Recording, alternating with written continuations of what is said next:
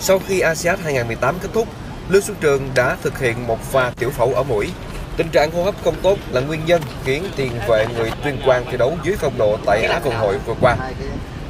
Ca phẫu thuật này cũng khiến Xuân Trường sẽ vắng mặt trong trận đấu gặp Thành phố Hồ Chí Minh ở vòng 22 V-League 2018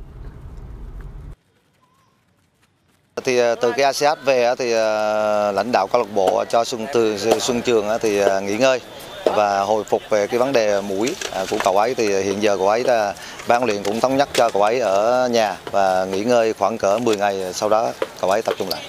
Tại vì là sau khi ASEAN về hồi phục và bạn ấy nghỉ ngơi và sau đó là sau 10 ngày thì ờ, tôi hy vọng là những ờ, vòng đấu tới Xuân Trường sẽ thi đấu. Cho đến thời điểm này thì ờ, sau cái trận Thanh Hóa thì đến thời điểm này thì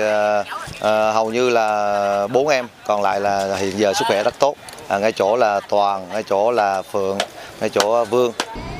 Hy vọng rằng sau khi trở lại, Lương Xuân Trường sẽ cùng câu lạc bộ Hoàng Gia Lai có được những trận đấu thành công trong thời gian tới. Bên cạnh đó, cá nhân Xuân Trường cũng sẽ đóng góp nhiều hơn cho các đội tuyển quốc gia.